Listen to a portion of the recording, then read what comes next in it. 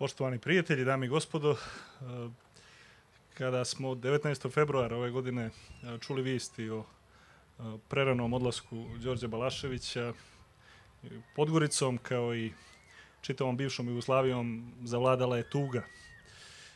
Svi smo imali osjećaj da smo izgubili nekog svog, nekog najbližeg. I nismo pronalazili riječi da opišemo taj osjećaj i, i, i, tu, i taj osjećaj tuge.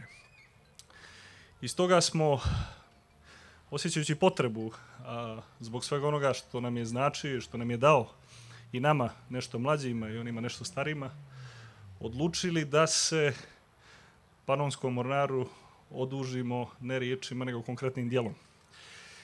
Bilo je tu raznih ideja.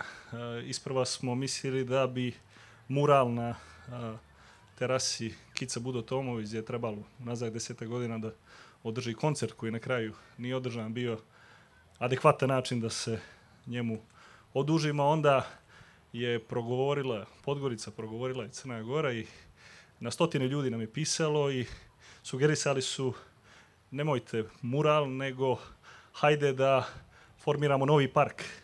Jer parkovi traju duže, a uspomen na, na Đorđa Balaševića treba traje vječno. Tako da smo mi, poštujući želju naših sugrađana, odlučili da baš na ovom mjestu u blizini Univerziteta Crne Gore, mjestu koje posjećuje veliki broj mladih ljudi, kreiramo jedan, jedan novi park koji danas na njegov 68.